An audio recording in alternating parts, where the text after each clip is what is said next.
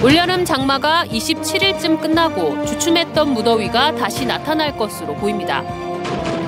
도내 코로나19 확산세가 커지면서 확진자가 대거 쏟아지고 있습니다. 줄였던 병상을 다시 확보하는데 비상이 걸렸습니다. 환경부의 설악산 오색 케이블카 환경영향평가 부동의 처분을 취소한 행정심판 결정을 취소하라는 환경단체의 행정소송 항소심이 각하됐습니다.